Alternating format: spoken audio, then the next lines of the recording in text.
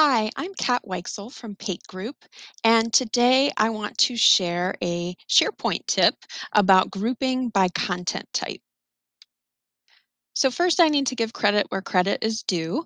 I did not learn about this on my own. I went to uh, a blog post by Marc Anderson. He is a Microsoft MVP. You may have heard of him.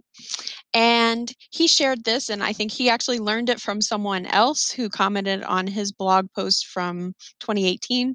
So we are learning new things in the SharePoint community and sharing them out. And that's one of the things I absolutely love about the SharePoint community. Uh, we enjoy sharing knowledge. So I'm hoping by doing this little video tutorial to reach some new people and show you what I've learned and how this works. So if you have used content types in SharePoint, you may know that for a long time now, we have not had an easy way to group in views by content type. We can group by all kinds of other columns, but not by content type. Well, let me show you what we are used to seeing. Uh, if you go up to your library settings, you go down and you look at maybe creating a view. you have all these different options when you're trying to do grouping all the way at the bottom. So lots of columns here to choose from. But if you'll notice, we're up in the C's here, there is no content type option. And this library surely uses multiple content types. So I'm going to show you how you do this in Modern. Um, if you come to the Add Column area in your Modern view here, and go to, you see this thing that says content type, and please read Marc's article to learn even more about this because he goes over what you find when you click on this. But to actually display it and do the grouping, you just come to show hide columns. And here, unlike in the classic settings, as you scroll down, these aren't in alphabetical order, uh, but you see content types here. And you can select it and go up and say apply, and voila, our content types are now on display.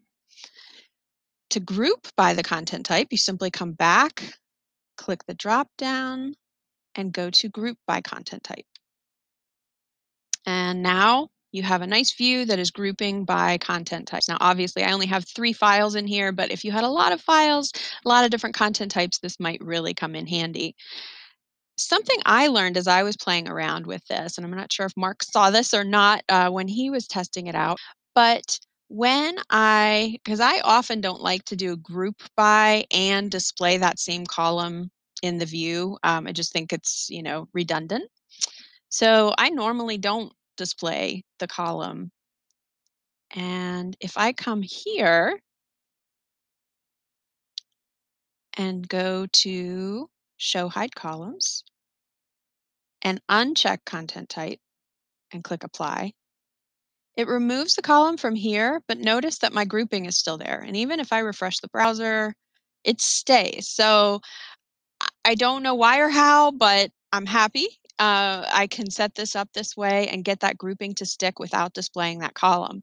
Now, again, notice if you go back, I'm going to go a different way this time um, to edit your current view. I'm going to just come right through this menu and say edit current view takes me back to that classic looking edit view page.